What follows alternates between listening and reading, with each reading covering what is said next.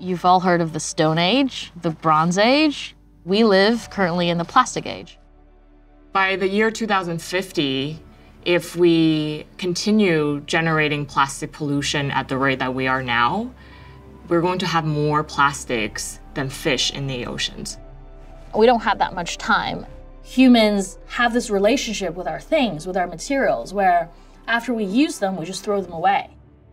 It just felt really wrong that adults in the world were not doing the right thing and they were not even talking about it. They were hiding this thing.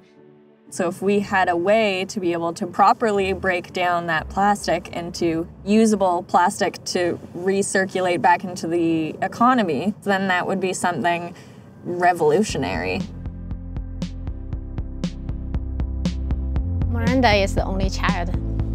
Sometimes when Jenny come, it's like I suddenly I have two daughters. I actually had a really tough time in high school, and I remember I would reach out to Jeanny, and she was just so wonderfully supportive in those in those times.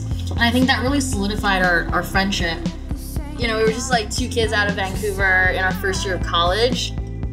We didn't let the fact that we were students in high school stop us. I think it showed us that that we can dream bigger and we can take on, you know, a more um, active role as as change makers in the world.